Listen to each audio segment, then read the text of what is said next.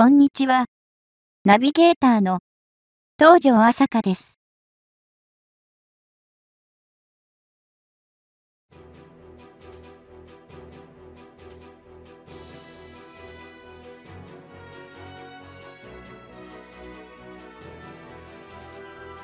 近年、米国が台湾を猛プッシュしている状況が手に取るように、日本にいてもわかる。韓国には結構、米国も愛想が尽きたようだ。その反面台湾に力を入れつつある。日本も台湾の方を向いているように感じている。2019年8月、アメリカのトランプ政権がロッキード・マーティン社製造の最新型 F16 戦闘機の台湾への売却を決定したというニュースが大々的に報道されました。これは台湾政府の求めに応じたものです。F16 戦闘機は最新型の戦闘機で、正式名称は F16 ブロック7072と言い、通称として F16V 型と呼ばれている機体です。台湾はこの戦闘機を総計66機調達することも判明しています。購入費用ですが、66機系で約8500億円と言われています。1機あたりの価格はおよそ130億円になります。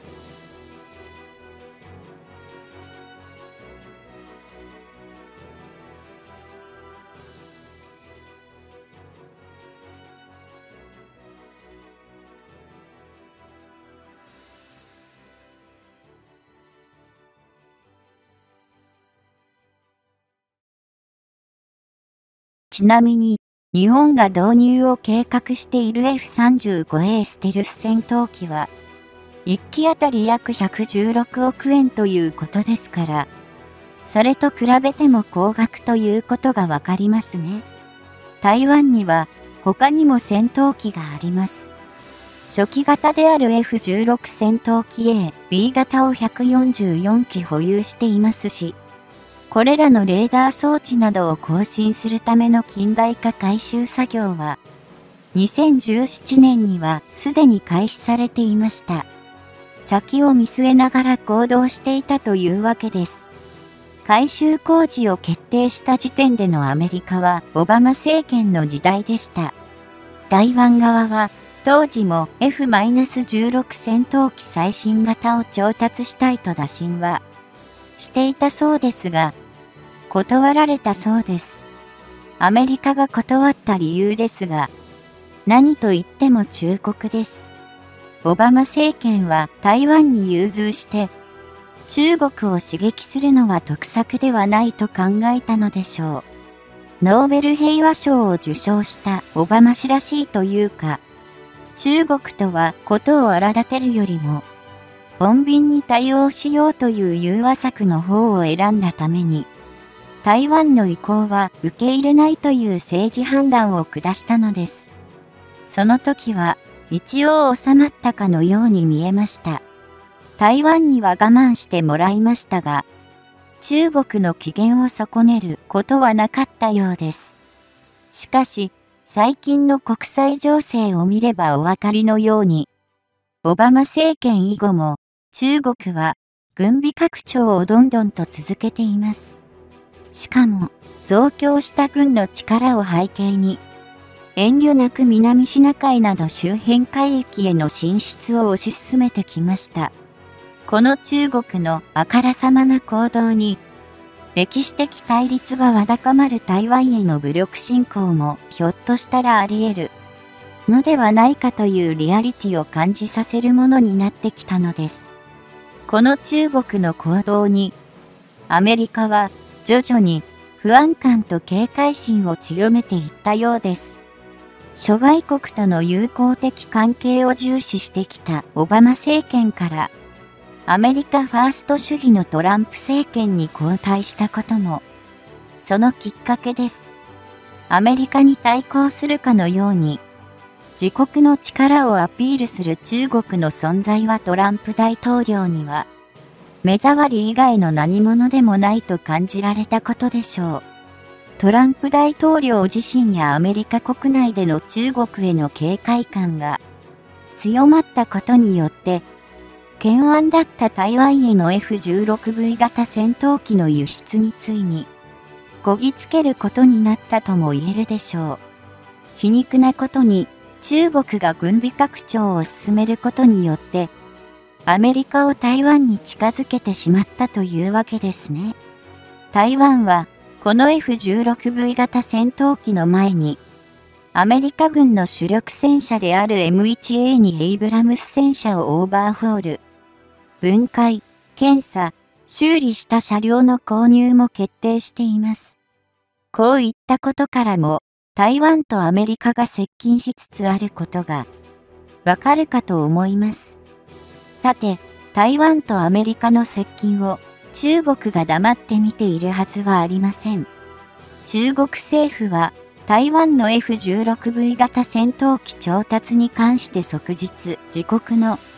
安全が脅かされるものだとする声明を出して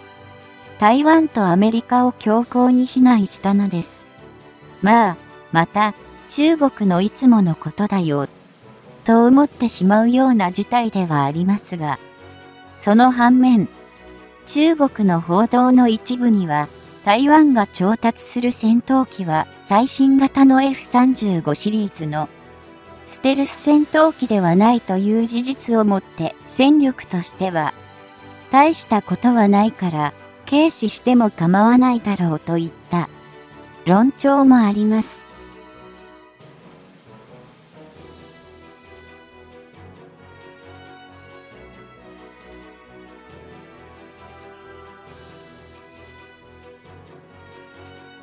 将来的に台湾が F35 シリーズ戦闘機の購入に動くかどうかはわかりません。しかし、既存の機体を含めると200機を超 LF16 戦闘機を持っている台湾がすぐ、すぐ F35 の購入を考えるとは思えません。何と言っても戦闘機は目玉が飛び出るぐらいの高額です。さて、戦闘機と戦車はアメリカからの調達が決定し、陸上と空の防衛は整った感のある台湾ですが、問題は海です。実はアメリカに何度も潜水艦の購入を依頼していたのですが、いつまでも目処が立たなかったため、待ちきれなくなった台湾は自国での建造を決めたそうです。アメリカからの調達が進まなかった理由は、台湾のリクエストした通常動力型潜水艦がアメリカでは建造されていなかったためです。そのため、建造ノウハウのないアメリカはもちろん自国では作れませんから、他国から購入した潜水艦を台湾へと引き渡す計画を立てたのですが、結局は中断してしまいました。これはこれでアメリカも手間や時間がかかりますし、迂回購入する台湾も腑に落ちない気分だったことでしょう。アメリカがダメなら、ということで、アメリカ以外の国へも台湾は、働きかけましたが、中国がしゃしゃり出て政治的、経済的圧力をかけまくりました。中国を恐れた日本をはじめ、ヨーロッパの国々からもついに手が挙がることはなかったのです。結果的に台湾が希望する通常動力型潜水艦を他国から購入することは不可能になりました。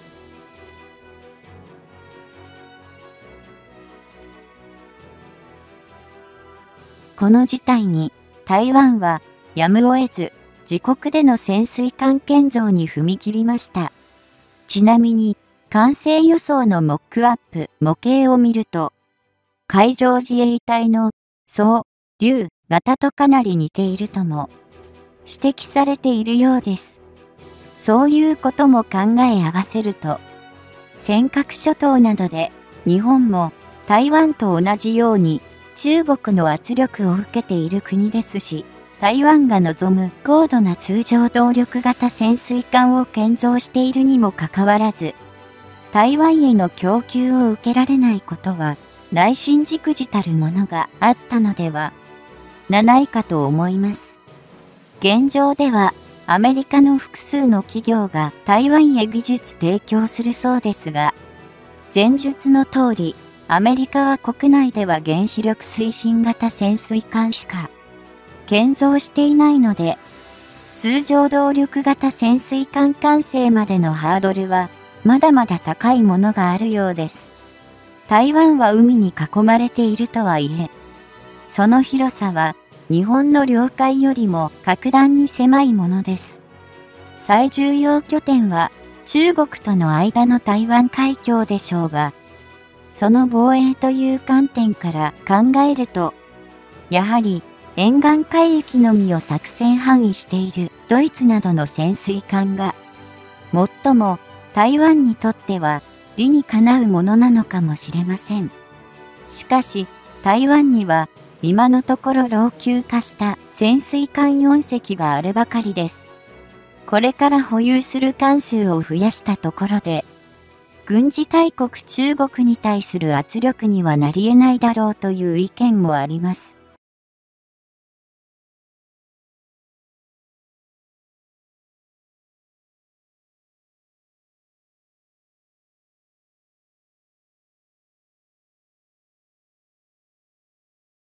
現在のところは、アメリカ海軍の言うところの航海の自由作戦なる南シナ海の首根っこ台湾海峡を通過して G 行動を見せつけることによって、中国の動きを牽制している状態というのが正しいでしょう。とは言っても、中国は旧ソ連で設計され自国で完成させた自慢の航空母艦、遼寧あります。もちろん、遼寧の他にも自国で建造した航空母艦を今後は数多く収益させてくると推測されますから、これからの軍事力の均衡、パワーバランスの変化については予断が許されない状況となるでしょう。その昔、神奈川県横須賀港をアメリカ海軍第7艦隊が母港として太平洋からアジア全域に睨みを利かせていました。しかし、その時代は過去のものとなってしまったのです。今は長射程の対艦、対地ミサイルという効率的な武器が配備されているので、艦隊は行動する範囲が徐々に狭められつつあるのです。また、中国と最前線で対峙する台湾は新型潜水艦や F16V 型戦闘機を実戦配備する予定と言われています。そうなったら、今のパワーバランスとは異なる状況が訪れている可能性も考えられます。IT 時代と呼ばれる現在、進んだコンピュータを駆使した兵器等が次々と開発されていくでしょう。例えば、すでに開発が進められている AI 人工知能を搭載した自立稼働できる無人兵器つまり無人戦闘機や無人爆撃機あるいは無人潜水艦等々今までの概念をガラリと一変させる機器が開発され配備されていくことになるのかもしれません。